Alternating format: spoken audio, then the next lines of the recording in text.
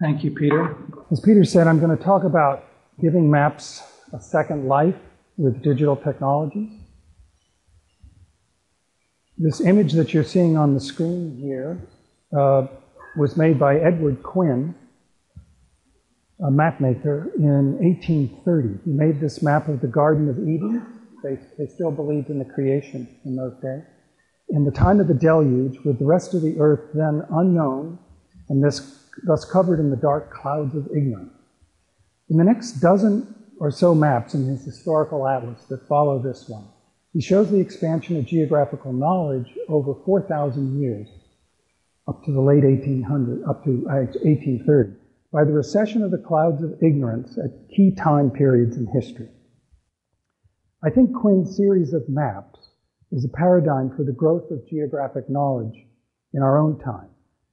Yet our geographic ignorance in the recent past has been caused not by lack of geographic knowledge. We certainly have an enormous amount of that. Rather, it's been caused by the lack of good means to disseminate widely that knowledge.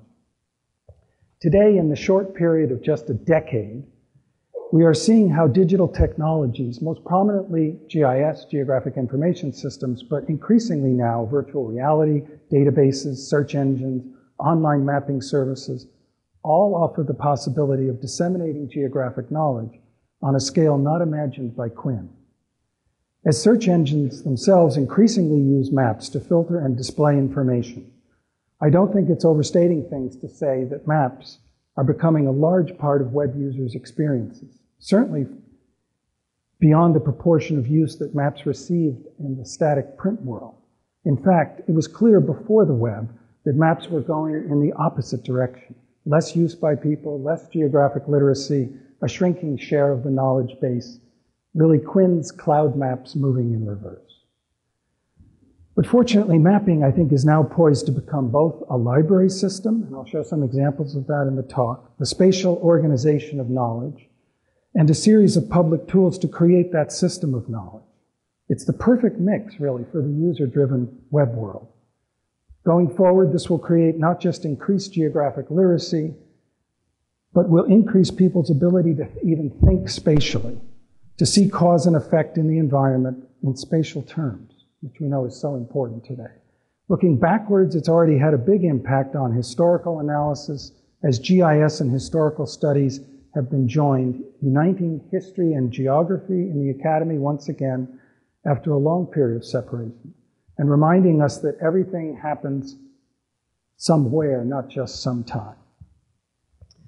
These technologies have given all maps a second life, and for me, this digital revolution has enabled the recreation, as Peter said, of my old analog paper historical map library into an ever evolving online resource for people interested in the evolution of this fascinating juncture of science, art, and history that historical maps embody all available at my online map library portal for the last 10 years, davidrumsey.com. I remembered that seven years ago I gave a talk at a DLF forum in Pittsburgh that showed the very first uses I was making of GIS as applied to historical maps. Today I'll show how that process has evolved in the ensuing years and other tools that I've added, especially my recent forays into virtual worlds like Second Life and Google Earth. As libraries today increasingly realize that their analog special collections are the unique knowledge resources that they must digitize and turn into online libraries, I hope that my trajectory of transforming my physical map library into a library of content and tools may have some relevance. This journey started about 10 years ago in my map library in San Francisco, shown here when I realized that I could give no, new life to my old maps by making them available to people over the internet. My motivation above all was to give the maps away digitally again and again and to share with people all the aspects of old maps that make them so interesting and compelling, all the reasons that I collected them. Instead of just giving the collection to an institutional library where it would be preserved, but access would be limited, Using these new technologies, I saw that I could give the collection digitally to a huge number of people in all parts of the world. I was determined to set a new model of a kind of digital philanthropy, the gift of a private collection through giving the images, the metadata, and the software tools.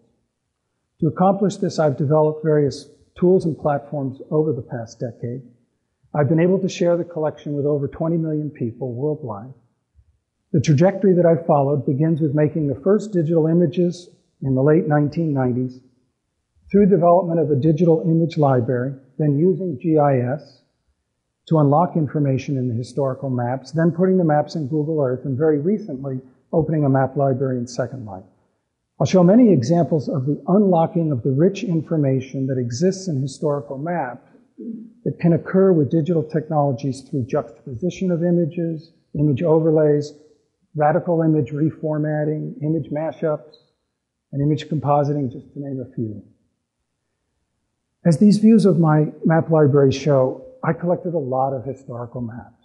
I was your typical out of control collector over 150,000 at last count in a period of about 25 years.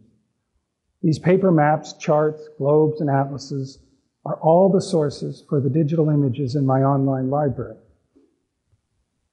And they are visual history as well, and they tell us much about the times in which they were made. My collection covers roughly the period from 1700 to 1925. It includes maps of the entire world with a special focus on images of North America. This map of North America here by Guillaume Delisle, 1700, sort of bookends the early part of my collecting interest.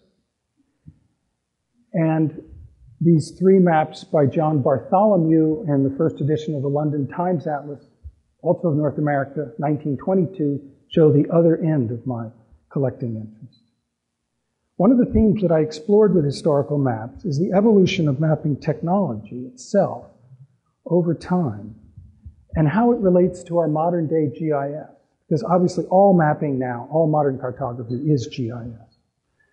So I began by learning the science of GIS. I actually began to see GIS principles in past mapping systems. I wrote about this in a book I wrote with Edie Punt called Cartographica Extraordinaire. These are a couple of the illustrations from that book. These same digital technologies transform me as a collector by allowing me to reverse the process of acquiring maps into a process of sharing and distributing them by building a new digital collection, and eventually allowing me, which I'll show some of, even to collect digital copies of maps when I did not own the original paper map. My first use of technology with regard to the collection was creating a database to catalog all the maps. I'm sure I was a librarian in another life. Like many of you, I enjoyed filling in the blanks. I did this all the time I was collecting. This laid the groundwork for creating a virtual library, though at that stage it did not include images of the maps, only detailed descriptions. Then I began to make digital images of the maps by scanning them at high resolution. I began to see things in these scan maps that I could not see as easily in the original. I'll show you an example here. This is Lewis and Clark's famous 1814 map published in Philadelphia of their trek up the Missouri River and onto the Pacific Ocean. Looking at the Lewis and Clark map, I was studying the way they had mapped the Missouri River, and particularly this grand detour, which is a very prominent feature of the river, a huge bend. At the same time, I acquired John Melish's map of the United States, the first map to show the country coast to coast, published just two years later, also in Philadelphia, and I realized Melish had lifted everything from the Lewis and Clark map. Looking at the images digitally, I was able to compare the Melish and see how he called it now the Great Bend, and putting the Lewis and Clark next to it, again in digital form, because these maps are vastly different size. The Lewis and Clark is about this big, the Melish is about six feet across. I realized this was a wonderful way to begin to study the maps and to learn more about them. So after I had compiled, I don't know, several hundred of these digital images, fortunately for me, the internet evolved in the mid 90s. And I realized I could take these digital images and use them not just for my own research, but also to share the collection. So I launched the online library in 99 with 2,000 images. As I said, the site is free to all users. This changed everything about my work. Suddenly, I had thousands of people a day using my online maps, and I was the proprietor, like many of you, of a virtual library. DavidRumsey.com is the hub for my content building. Today we have over 17,000 maps online. And for my experiments with software to view and understand that content.